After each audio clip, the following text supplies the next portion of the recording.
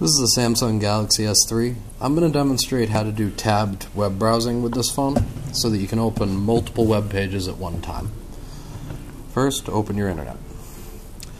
It'll load to your home page. This one's set to the Metro PCS page because it is stock phone. I just pulled this out of a box 10 minutes ago. Up here in the corner, there's two icons. The one on the right is for bookmarks, the one on the left is for tabs. When you click on that, you'll see it drops it back and then you'd have to click the plus sign up here and it opens another tab for you. So here I'll load a different website just to show the difference.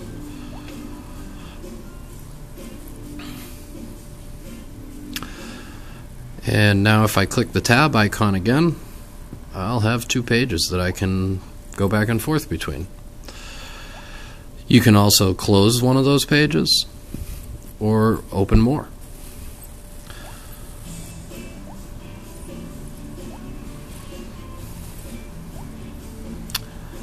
And you can make each one of these a different web page, of course. Um, so if you wanted to take information from one website, put it into another, this is a great way to do that.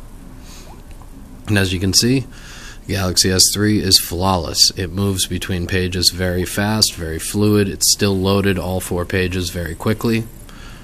And that's my demonstration. Thanks for watching. Make sure to subscribe to my channel.